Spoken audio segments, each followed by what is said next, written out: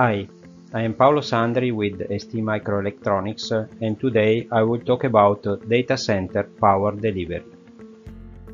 ST offers a complete solution for data center power delivery starting from the AC to DC with universal input from 90 to 265 volt down to 48 volt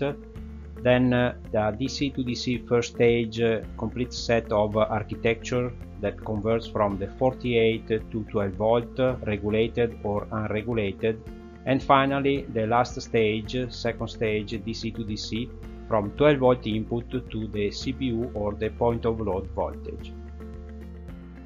The complete solution from AC to point of load offers uh, a series of advantages and uh, besides having a wide selection of architectures uh, we can reach uh, an overall peak efficiency of 91.6% from uh, the 230 volt AC to 1.8 volt DC and uh, we offer state-of-the-art uh, 48 volt to 12 volt topologies both regulated and unregulated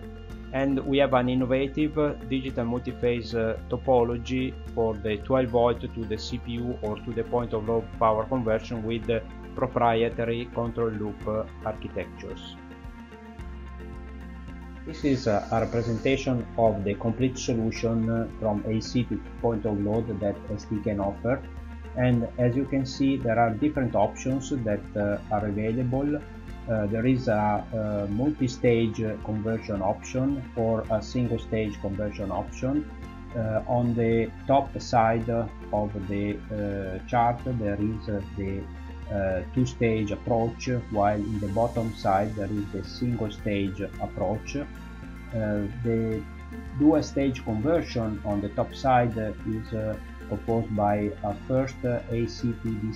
um, conversion made with an LLC and a PFC and this converts the AC line down to 48 volt DC. Then there is the first stage that is called intermediate bus converter that converts from the 48 volt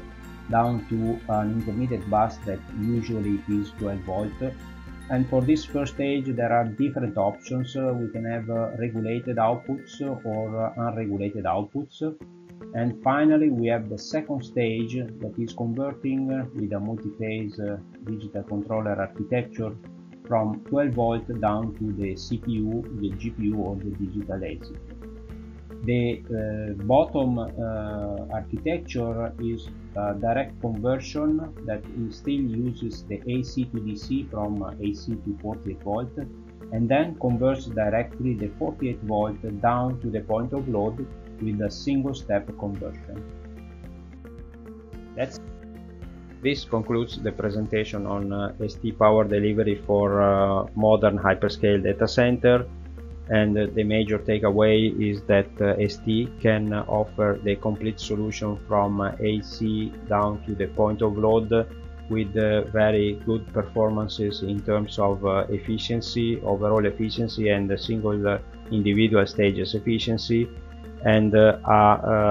um, state-of-the-art uh, architectures that can accommodate different flavors required by different uh, Uh, system implementation. Thank you for listening this presentation.